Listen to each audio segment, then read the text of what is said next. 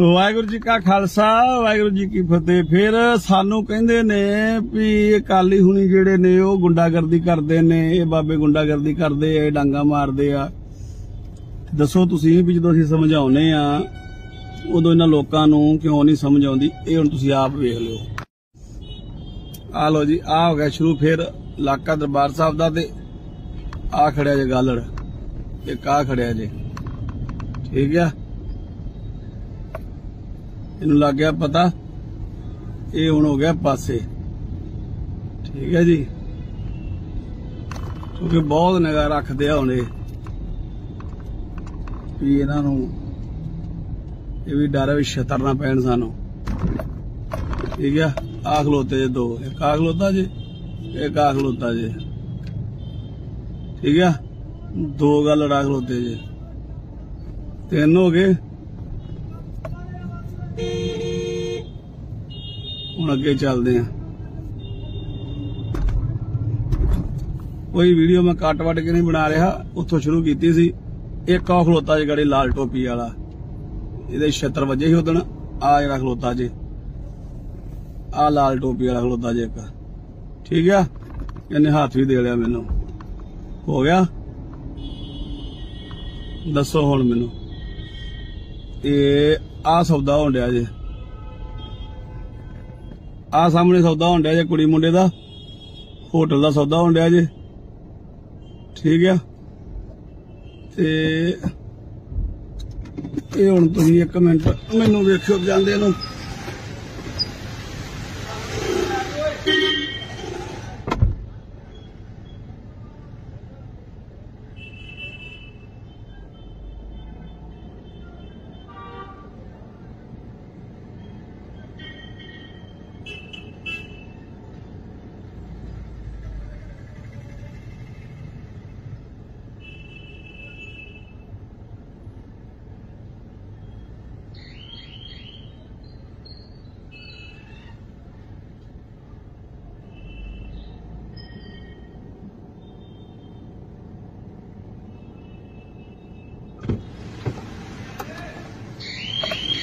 ਦੱਸੋ। ਆ ਤੁਸੀਂ ਲਾਈਵ ਦੇਖ ਲਿਆ ਸੰਗਤ ਜੀ। ਹੁਣ ਇਹਨੂੰ ਫੇਰਾਂਗੇ 76 ਤੇ ਸਾਨੂੰ ਫਿਰ ਕਹਿਣਾ ਵੀ ਬਾਬੇ ਗੁੰਡਾਗਰਦੀ ਕਰਦੇ ਆ। ਠੀਕ ਆ? ਆ ਖੜੇ ਜੇ ਗੱਲ ਕੀ ਇਹ ਬੰਦੇ ਹਟ ਗਏ ਨੇ। ਆ ਖੜੇ ਜੇ ਅੱਗੇ ਫੇਰ। ਹੋਟਲ ਕਰਨੈਸਨਸ ਦੇ ਬਾਹਰ। ਠੀਕ ਆ? ਆ ਲੋ ਮੇਰੀ ਗੱਡੀ ਵੇਖ ਕੇ ਤੇ ਸਾਈਡ ਤੇ ਹੋ ਕੇ ਬਹਿ ਗਏ ਆ। ਹੁਣ ਦੱਸੋ ਇਹਨਾਂ ਦਾ ਕੀ ਕਰੀਏ? ਹੁਣ ਦੱਸੋ ਜੀ, ਜਿਹੜੀ ਆ ਜਿਹੜੇ ਸਾਨੂੰ ਕਮੈਂਟ ਕਰਦੇ ਨੇ ਫੇਸਬੁੱਕਾਂ ਦੇ ਉੱਤੇ ਵੀ ਤੁਸੀਂ ਡਾਂਗਾ ਚੱਕੀ ਫਿਰਦੇ ਹੋ, ਤੁਸੀਂ ਗੁੰਡਾਗਰਦੀ ਕਰਦੇ ਹੋ, ਆ ਤੁਹਾਡੇ ਸਾਹਮਣੇ ਨਤਾਰਾ ਵਾ, ਤੁਹਾਡੇ ਸਾਹਮਣੇ। ਕੋਈ ਇਹ ਨਹੀਂ ਆ ਵੀ ਕੋਈ ਪਲੈਨਿੰਗ ਕੀਤੀ ਇੱਥੇ।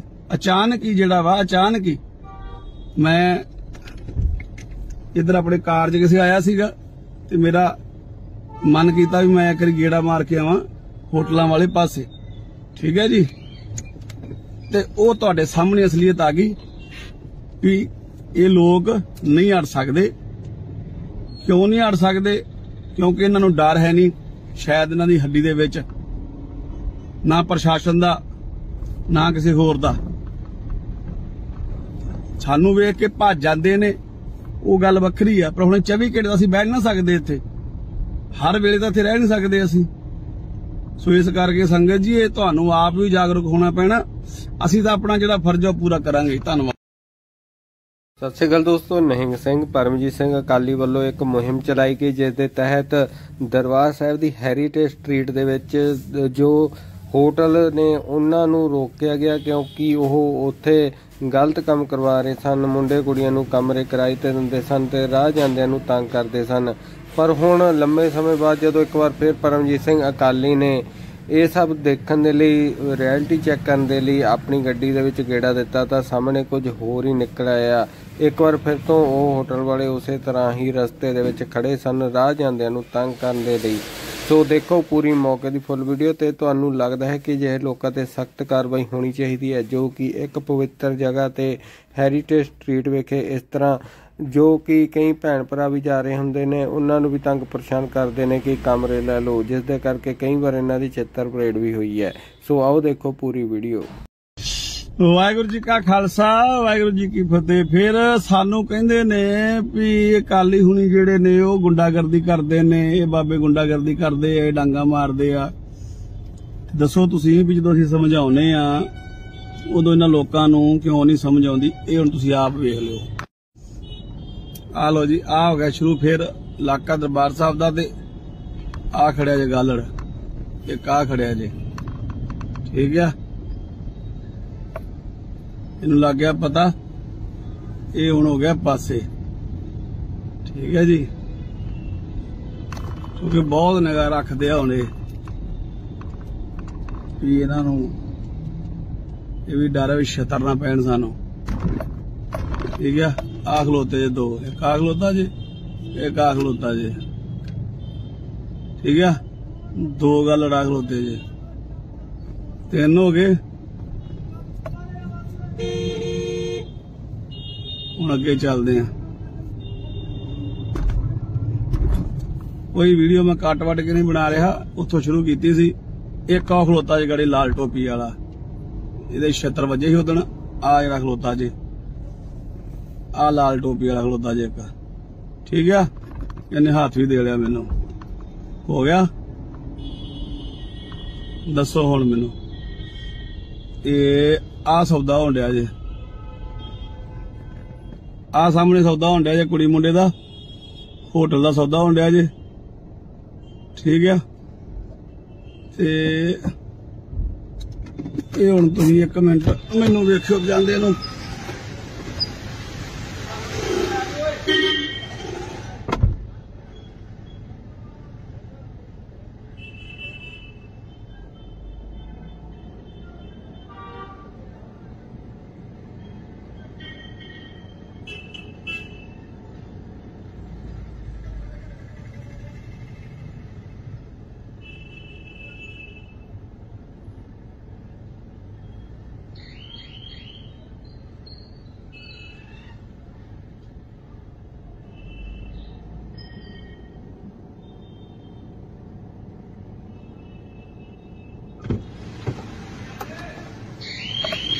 ਦੱਸੋ।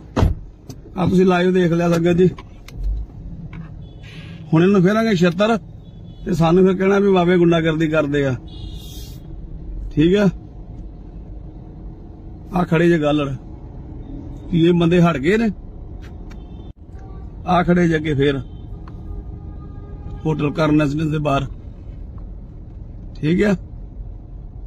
ਆ ਲੋ ਮੇਰੀ ਗੱਡੀ ਵੇਖ ਕੇ ਤੇ ਸਾਈਡ ਤੇ ਹੋ ਕੇ ਬਹਿ ਗਏ ਆ।